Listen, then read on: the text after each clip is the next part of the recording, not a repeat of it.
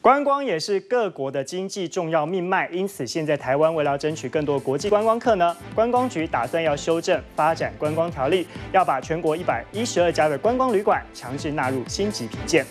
目前全国一百一十二家观光旅展当旅馆当中，参加星级评鉴的比例只占七成左右。未来透过评鉴，渴望和国际接轨。如果没有通过评鉴的业者，观光局不排除执行退场机制，让业者退出观光旅馆的经营行列。